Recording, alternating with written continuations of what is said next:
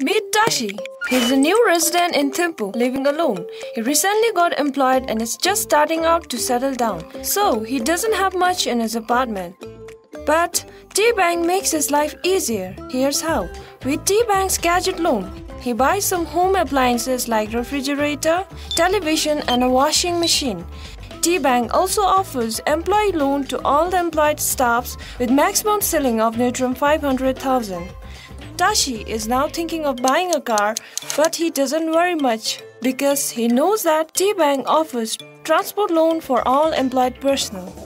After a few years, his younger brother Turing, who just completed high school, expects Tashi to help him with college through T-Bank's education loan. He can now send Turing to any third country with maximum ceiling of Ngultrum 3.5 million per student.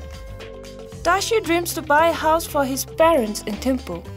His dream can be a reality with T-Bank's housing loan with the maximum of 60% of the total cost.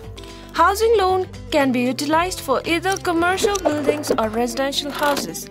T-Bank also offers something bigger than the housing loan. With the maximum ceiling of 75% of the cost, T-Bank offers service and tourism loan and manufacturing loan.